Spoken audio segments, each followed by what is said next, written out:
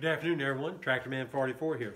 I don't know if y'all got the gist of my channel, but you know, I, I unfortunately don't do only tractor work. I say unfortunately because that's what I really wish I had time to do, just nothing but tractor work.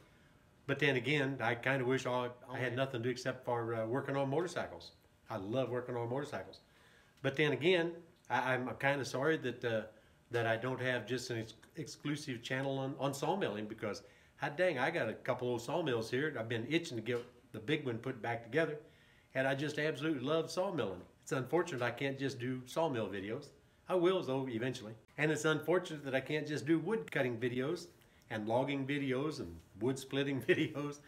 You know, but I dang it, you know, I'd, I'd love to do just those, but I just don't have the time to do just one thing simply because I guess what I'm trying to say and stumbling around and trying to tell you is, uh, you know, my channel ain't just about one thing. It's just about a country way of living. I mean, you know, now I had a job in a big city. You know, I worked up there, you know, for my whole career, well, except for a little bit of time, you know. But it treated me well. I did okay, you know. Uh, I ain't rich or nothing, but uh, I sure don't live like I'm rich. I don't want to live like I'm rich. But I dang it, I, I was raised with a uh, with a can-do attitude by the old man out of necessity because the old man had to do because he had no wherewithal to do any other way. You know, there was there was no way, there was no money available to pay people to do.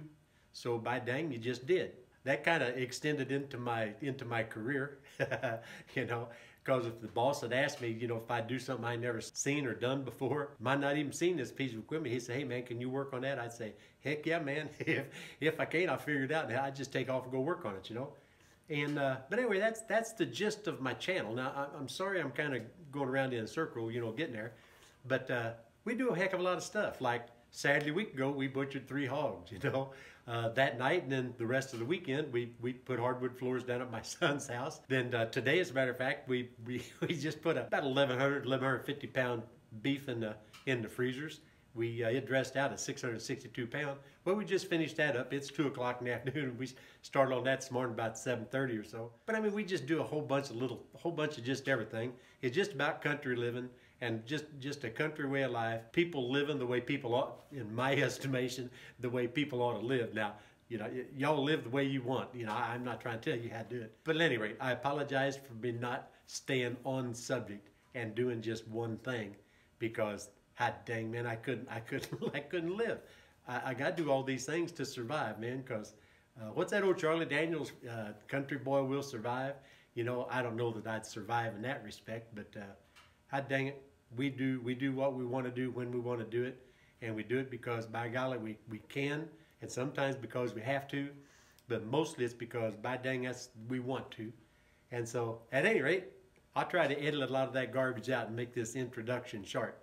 But today, what I'm going to try to do is. Um, well, you know what? Maybe I'll make this an introductory video to my channel and start all over again with an intro to, to the movie about what we're going to do. Maybe I'll do that. It's Tractor Man 44. I am out of here.